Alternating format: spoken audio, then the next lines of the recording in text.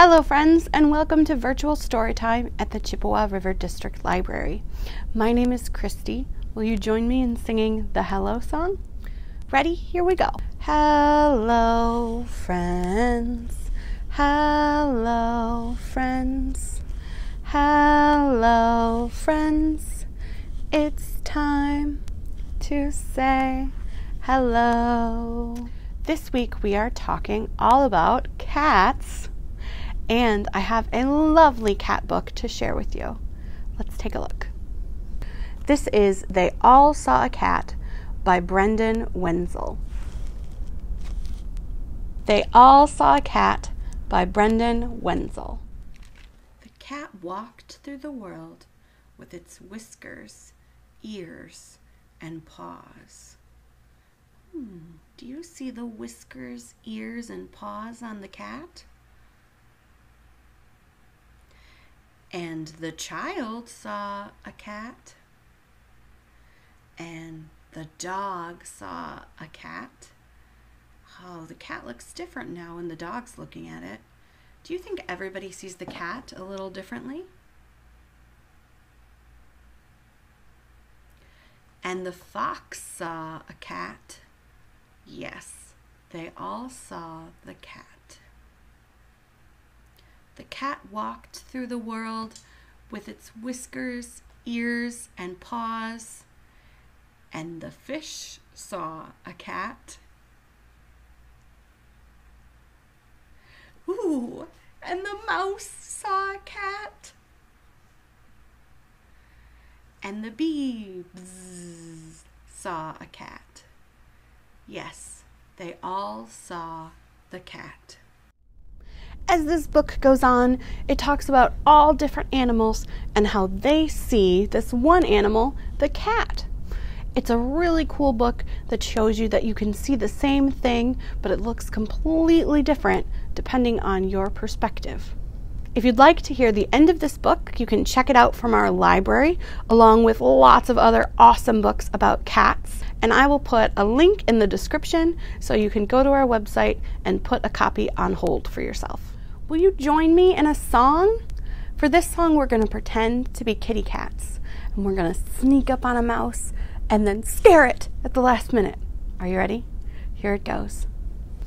I'm a little kitty cat, nice and sweet. Here are my whiskers and here are my feet. When I go out hunting, mice beware. Otherwise, they'll get a scare. Good job, friends. Thanks for singing with me.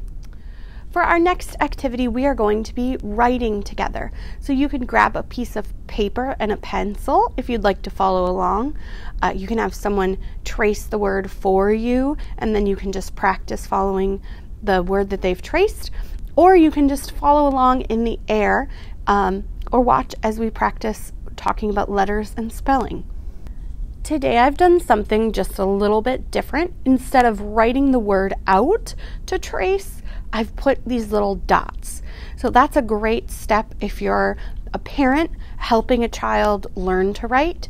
It can be kind of fun and also great practice to follow the dots to form words. And you can even make simpler versions than letters, but just practicing connecting dots is a great pre writing activity. So here we go with the word hmm. You can't really tell what it is today, can you? I guess we'll have to follow the dots and solve the mystery. I'm going to start here. This looks like a capital letter. Hmm. What letter is that? It's a C. Next, it looks like we've got kind of a circle and a line. A. Finally, another lowercase letter.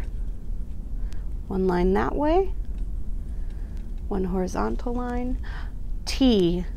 C A T. Cat. Cat. All right, we've written the word cat. We've talked about cats. We've pretended to be cats in a song.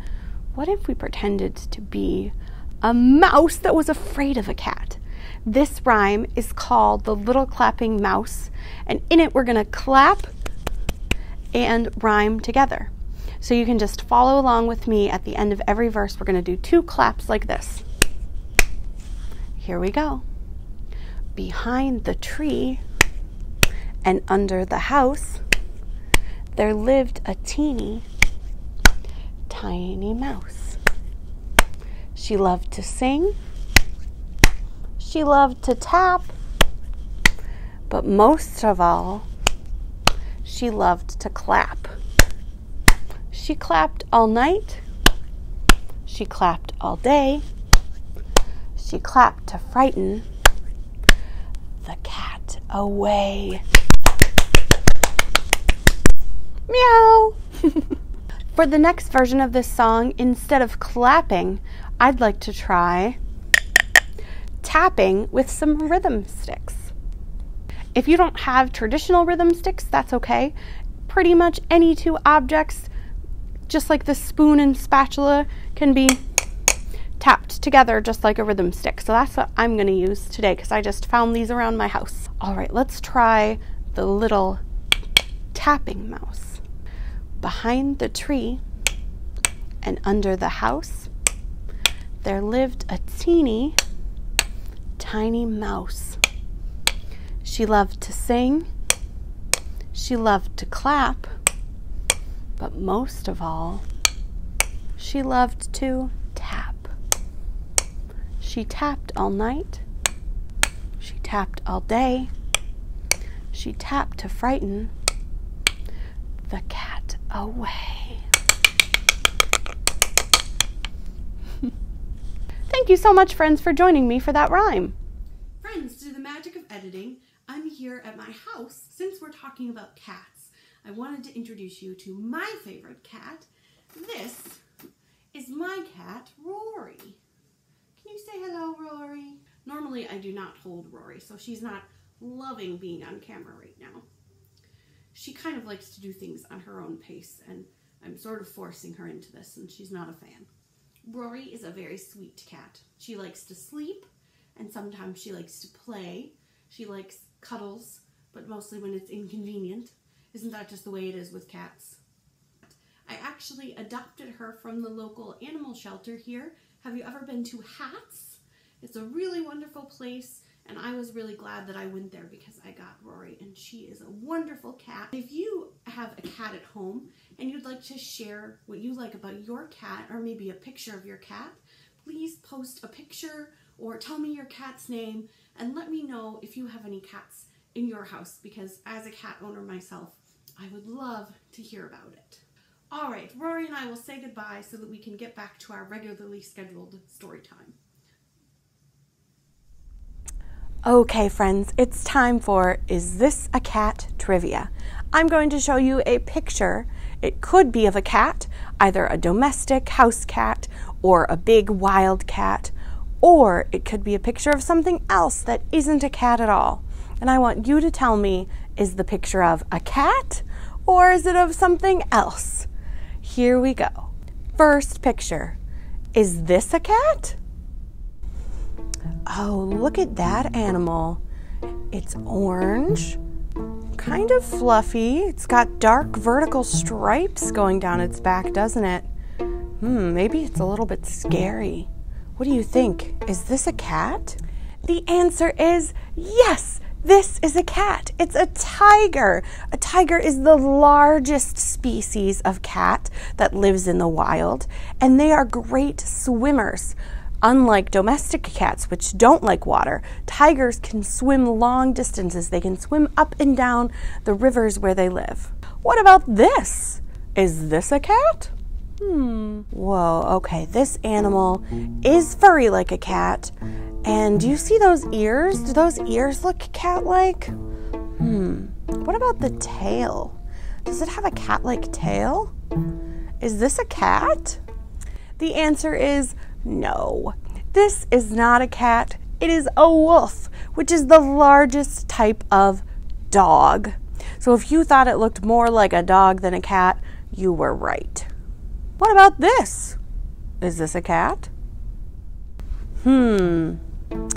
Oh, this guy's got whiskers. He looks like he likes climbing trees. Do cats like climbing trees? Hmm, is this a cat? The answer is no, this is not a cat. It's an animal called a binturong, but they are sometimes called bear cats because they look a lot like cats and kind of a lot like bears too, don't they? What about this? Is this a cat? Oh, wow. Look at the spots on this animal. He looks very thin and lean. Hmm, is this a cat? The answer is yes. This is a cheetah, which is a type of cat. Cheetahs are not only the fastest cat, but they are the fastest land animal. They can run up to 60 miles an hour, which is so fast that if you are going 60 miles an hour in a car, you better be on the freeway. What about this animal? Is this a cat? Oh, okay. So we've got a mask. We've got some fluffy fur. We've got whiskers. Hmm, what do you think? Is this a cat? The answer is no. This is not a cat. Do you know what it is? It's a raccoon. That mask is actually a good sign that it is a raccoon. They have those masks around their eyes and they have stripes on their tails. You can also see that a raccoon has very different hands from a cat. Where a cat has very paw like hands, raccoons have hands that almost look human. They're able to move their fingers independently, which helps them scavenge for food. And while they may not be cats, they sure do like to steal cat food. Okay, last one. Is this a cat?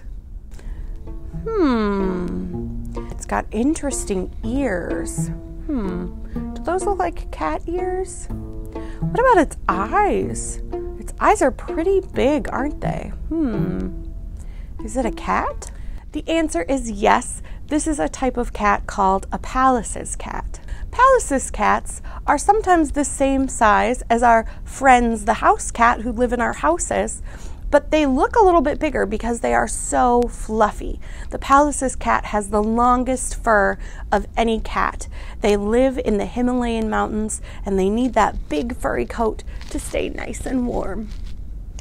Awesome job with trivia today. Thanks for playing the Is This a Cat game with me. Well, friends, story time today is at an end. Will you join me as we sing the goodbye song? Goodbye, friends. Goodbye, friends. Goodbye, friends. It's time to say goodbye. See you next time. Okay, I'm sorry. It's happening again for you. Don't. Okay. Nope. Let go of the bed. Let go. No, no, how?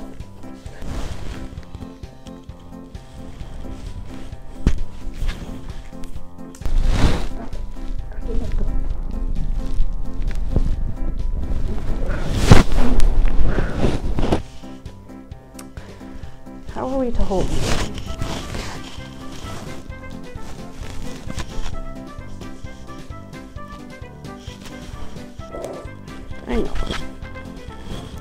scratch up my shirt bits.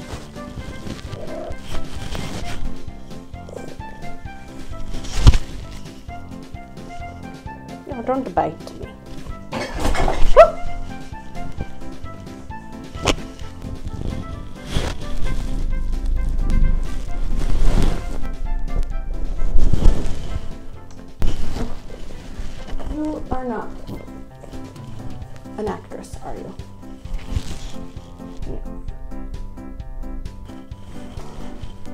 Please let go.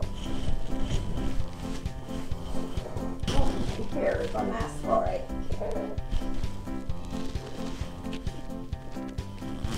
Look at Roy's. Oh God,